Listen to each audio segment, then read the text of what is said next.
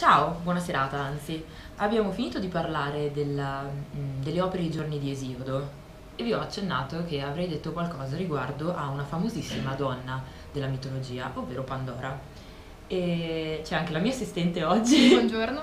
mi assiste e fa domande, diciamo Esatto, così. Faccio la parte dello studente. Esatto, esatto, perché anche lei sta studiando filosofia come i miei due fratelli, quindi non, non si occupa molto della parte Esatto, mitologica quindi e sono storica. interessata a conoscere questo lato di cui di solito non mi occupo. È anche emozionata e lo Sì. sono anch'io, quindi se sbagliamo a parlare stiamo facendo una cosa veramente accampata oggi. Tra l'altro ho un passaggio della Teogonia di Esiodo che vi leggerò dal telefono perché non ho il libro con me. Allora, eh, partiamo subito dalla Teogonia di Esiodo. Teogonia è un'altra delle opere di Esiodo insieme alle opere I giorni, che si occupa invece della eh, nascita e dello sviluppo della genia degli dei. E eh, vi è un mito nella, nella Teogonia che riguarda Pandora, la prima donna creata da Efesto, a cui tutti gli dei diedero una qualità meravigliosa eh, e a cui Hermes, eh, dio invece messaggero e astuto, comunque furbo, eh, diede eh, la capacità di ingannare.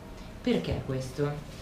Riallacciandoci all'opera eh, Le opere i giorni, sappiamo che eh, Zeus voleva punire gli umani Per che motivo?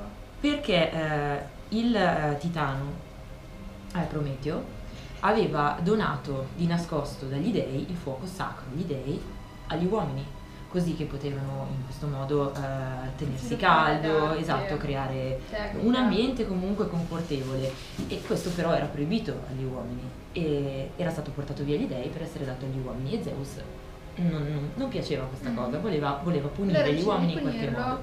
Come decide di punire gli uomini? Creando qualcosa di apparentemente bellissimo, ovvero una donna. Ok? Questa donna è Pandora. Andiamo a leggere il passaggio della Teogonia, così ti rendi conto subito. Quando poi ebbe plasmato un bel malanno in cambio di un bene, la condusse subito là, dove c'erano gli altri dei e gli uomini, fiera dell'ornamento della dea dagli occhi lucenti, figlia di padre potente. Qua stiamo parlando chiaramente di Atena, che aveva dato la bellezza e l'astuzia e la- l'intelligenza a Pandora. Meraviglia prese gli dei immortali e gli uomini mortali, quindi piaceva a tutti, come videro l'inganno scosceso, senza rimedio per gli uomini.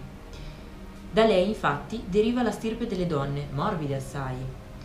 Da lei infatti la stirpe dell'eteria e la razza delle donne, sciagura grande per i mortali, quando abitano con i maschi e non sono compagne della funesta povertà, ma della sazietà.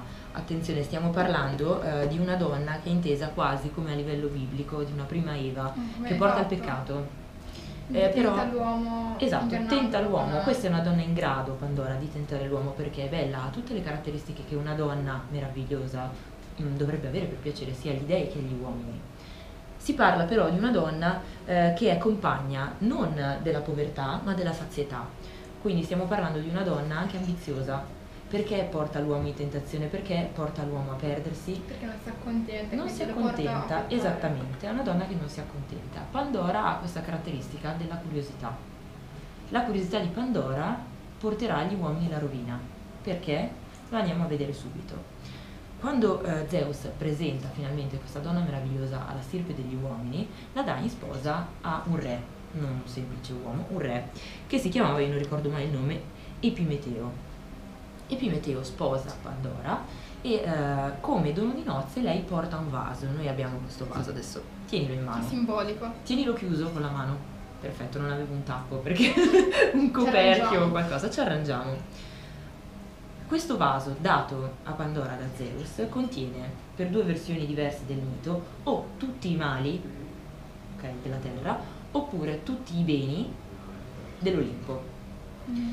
La versione dei mali dice questo. Pandora, troppo curiosa, voleva sapere che cosa c'era dentro questo vaso. Allora che cosa fa? Pandora decide di aprirlo.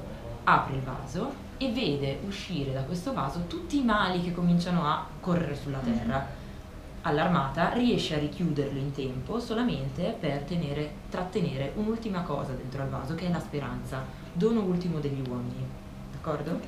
Questa è una delle versioni. L'altra, forse ti piacerà di più, Perché appunto la speranza è un male, è, è inteso come un male. in effetti non è inteso come un male, ma è come dire ci sono tutti i mali, in fondo al vaso c'era nascosta la speranza. Speranza. Però forse è più bello vedere l'altra versione, che è quella che il vaso conteneva davvero tutto il bene. Zeus quindi a Pandora aveva dato questo potere immenso, un vaso contenente tutti i beni per l'uomo che appartenevano agli dei. Ma lei troppo curiosa, lui sapeva l'avrebbe fatto, ha aperto il vaso, dal vaso sono scappati fuori tutti i beni e sono ritornati all'Olimpo, quindi all'uomo non è rimasto nulla se non che lei ancora con la mano è riuscita a bloccare e ha fermato l'unica cosa che resta all'uomo che è la La speranza. speranza. Si trova molto più poetica questa versione. Questa è un, questo è un mito molto molto importante, secondo me possiamo invitare i nostri filosofi peripatetici, te compresa, eh, nel prossimo Faremo un prossimo video. peripatetici a parlare della speranza. Che cos'è la speranza per l'uomo? Mandiamo la palla a loro? Va bene, Allora- Mandiamo il mandiamo vaso la direttamente? sfida. Aggiungo che non a caso Epi- Epimeteo è colui che vede male, quello che vede a metà, a differenza di Prometeo, fratello invece che lungimirante. È stato un po' inquietante, mi rendo conto, questa Questa